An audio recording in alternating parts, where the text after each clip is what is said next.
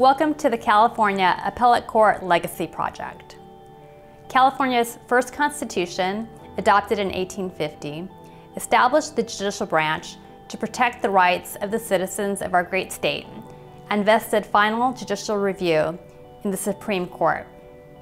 In 1905, the Constitution was amended to establish the Courts of Appeal to provide intermediate review of trial court judgments and to ensure our laws are interpreted and applied consistently. The rich history of the Courts of Appeal and the individuals who served as justices is collected in the Legacy Project. Their personal stories showcase a wide variety of backgrounds and experiences. They describe how their lives were shaped and how their service shaped the appellate courts throughout the years. The following excerpts provide a small sampling of the upbringing, education, careers, and judicial experiences of those who served as appellate justices.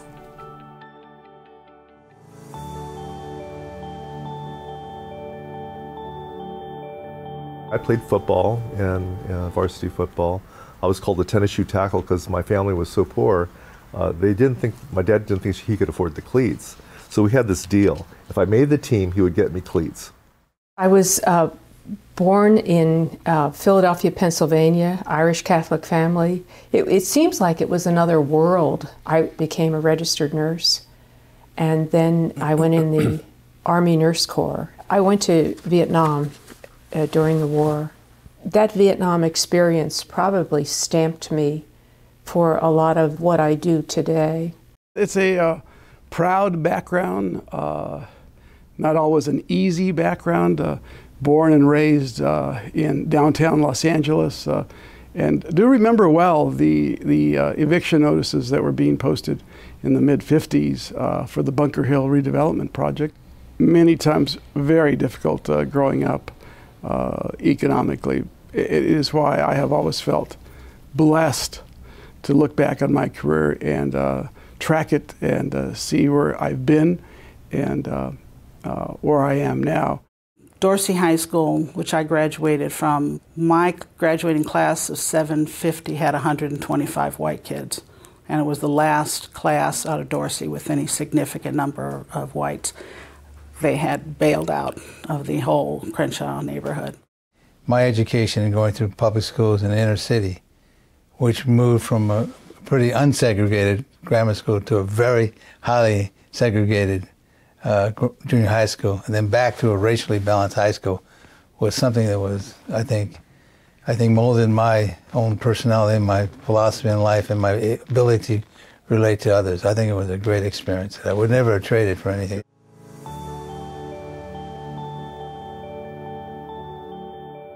I hated law school, actually. I didn't like the way they taught. I didn't like the Socratic method, and took a while to catch on with that. I wanted to go to Yale because somehow I had the idea that Yale was an unusually open, stimulating place. I think I made a good choice.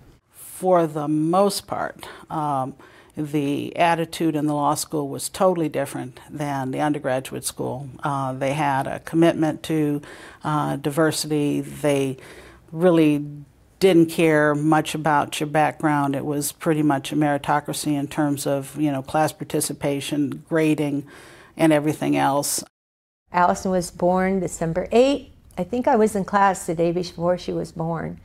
And so I was out until the next semester began and uh, went back to school and uh, had a newborn.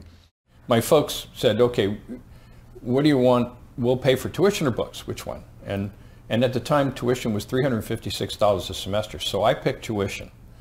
And my books were double that.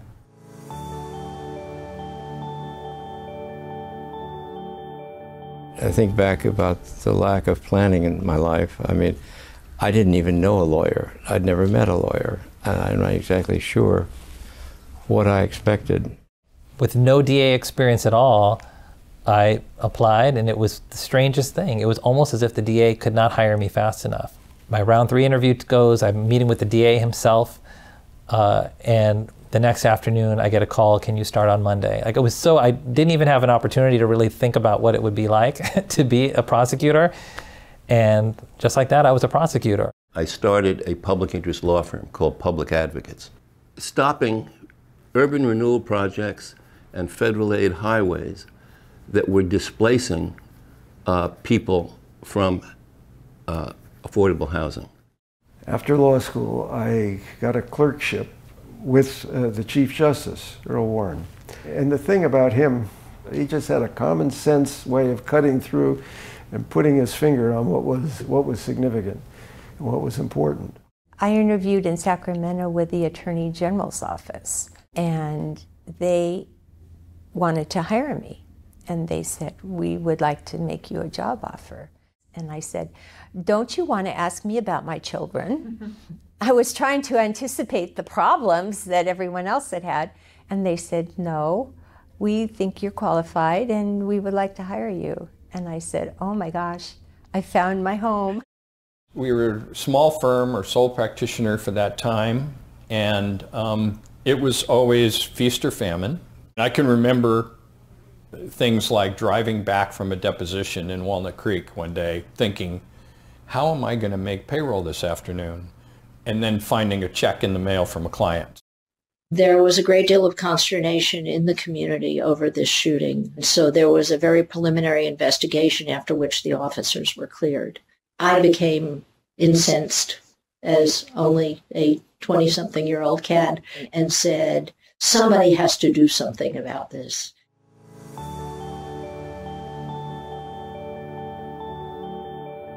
And I said, I just passed the bar.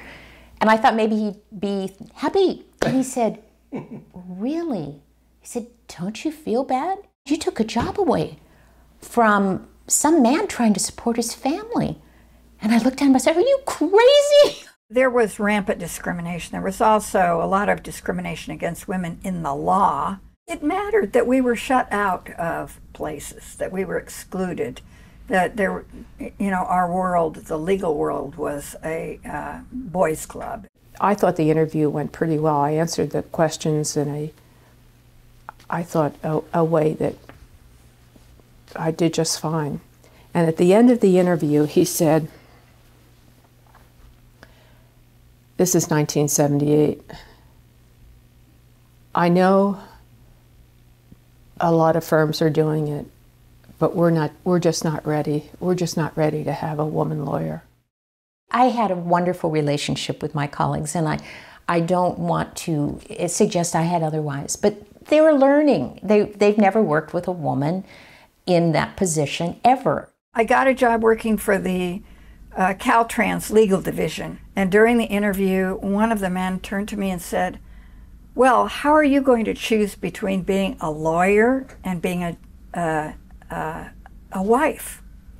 And I said, Well, when you were interviewed, were you asked how you would choose between being a lawyer and a husband? And he said, No, I wasn't. I said, Then I refuse to answer the question on the ground it's discriminatory.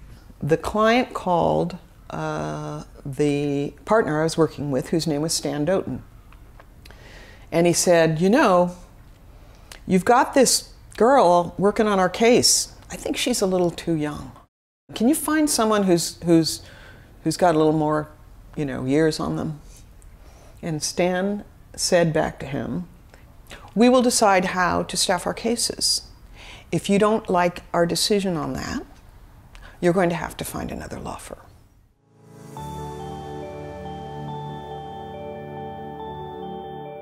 It was much harder to diversify the, the, the, bench then than it is today. And the reason is, is there were so few women and people of color who were constitutionally eligible. You couldn't be a judge unless you have been a lawyer for 10 years. I think it's important for non-Muslims to see that, hey, we have Jewish judges, we have Christian judges, we have Buddhist judges, we have judges who do not practice any religion at all. We can also have Muslim judges, and, and that's okay uh, and everything's going to be fine. It's important for the public to see that they will have a fair shake if they go into the courtroom and if they see people that look like them, I think they'll feel better about going into the courtroom. I was speaking to a, a community group, and uh, after I was done speaking, uh, a young parent brought their child up to me um, to introduce me to them and to take, take a picture with them and basically say, I, I want my child to know that you are, you know, they can accomplish what you've accomplished, that they don't need to be afraid, they don't need to feel like it's, it's not for them, that you are just like them. I think we have a better court today uh, now that we are a more diverse court.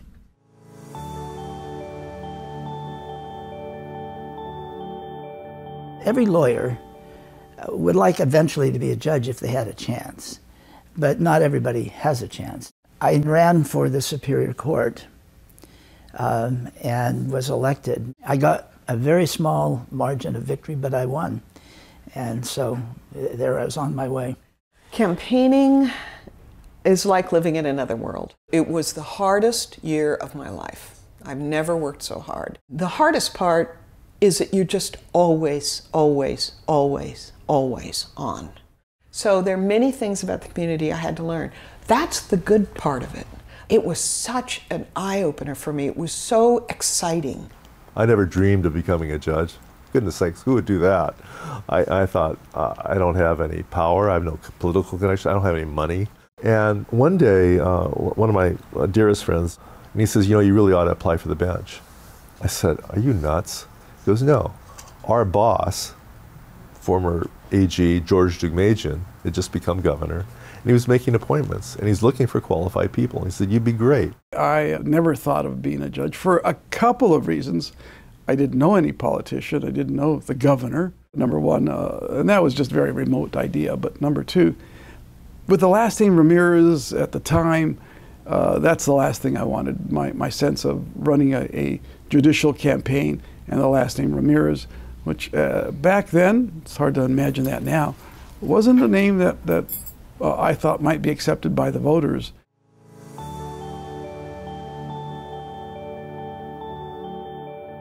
I spent uh, almost three years in family law. I think it was a great, a great experience, and, and I'm sorry that so many judges treat family law as sort of a poor relation because it's so important to the people who are there. And particularly now, when so many of the people in the court in family law are self represented, they need uh, judges who care about the job. I very strongly believe that judges should stay out of the trial. You don't want to put your finger on the scale. There was one trial that actually did this. Uh, I went into, took a recess, went into the chambers, went into the bathroom, looked in the mirror, and said out loud, Stay out of it. It's not your case. I became the, the supervising judge of traffic court, and we really shook things up. I noticed that there's so many Spanish speaking people who are coming to court who don't know why they're there. They don't understand what the ticket says. So a lot of us uh, felt that we had to make the system more open. And one of the bailiffs was Hispanic, and he said, Yeah, this is terrible we should have them translated into Spanish. I said, absolutely, let's do it. I think my real law school came with it on the Court of Appeal. First time I really was able to sit down, think through the law and what it means, get to the underpinnings of the reasonings and policies behind the law. The Court of Appeal is a monastic, studious place. And that was a big change for me. And before I was confirmed, I came here to visit the division and to say hello to people. And I was here for a couple of hours. And I didn't hear a telephone ring. It was like, wow, there, that's, that's different, you know, because I, I mean, I'm not exaggerating. I'd have 40 phone messages a day in, at the governor's office, maybe a little more. So that was a change. You're in trial and you have a nanosecond to rule on a really tough evidentiary issue that you've got to rule on because you've got to keep that case going you know, keep the trial moving. I can spend a week on that same question, just thinking about it if I want on the Court of Appeal. Now you get to the position where you write an opinion and somebody disagrees with you. Being a Superior Court judge, you know, I don't care if you disagree with me. Now all of a sudden I have to care.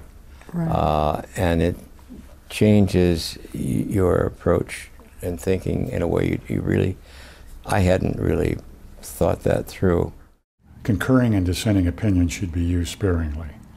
And when you use them, have a purpose, have a point. And when there's a dissent, it tells the public and it tells the legislature that there's another way of thinking about this. For the vast majority of cases, these are not going to go to the Supreme Court of California. There's no other relief in sight. This is this is it. Okay. Um, there's no review after this. So, folks, we've got to get it right. That's the pressure, is that we've got to get it right.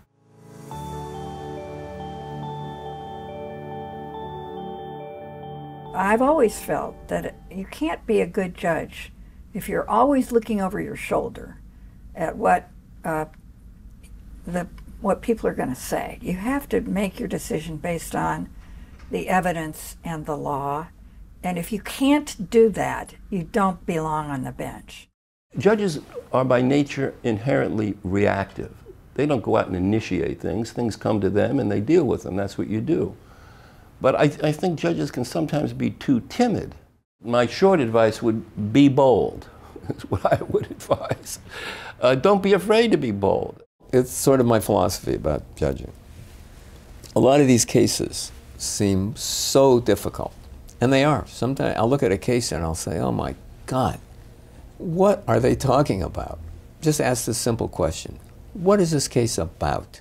I think it's the same thing that struck me when I became a uh, trial judge. I mean, the, the awesome responsibility that you have as a judge. You are dealing with uh, issues that affect people's lives and the importance of getting it right and working hard. There are principles that, that to be derived from the Constitution, but their application uh, has to be made with uh, a view towards current conditions. And, uh, and, and, I, and I, think that's, I think that's crucial to uh, to the role of the judiciary, you know, to make sense out of these laws so that they fit society and ultimately serve the best interests. I've heard a lot of talk about judges having to be totally unbiased, and of course they have to be totally unbiased, but that does not mean that they have to be automatons. Judges are appointed because they're qualified, because someone in power thinks that they are um, good candidates to be part of the um, rule of law.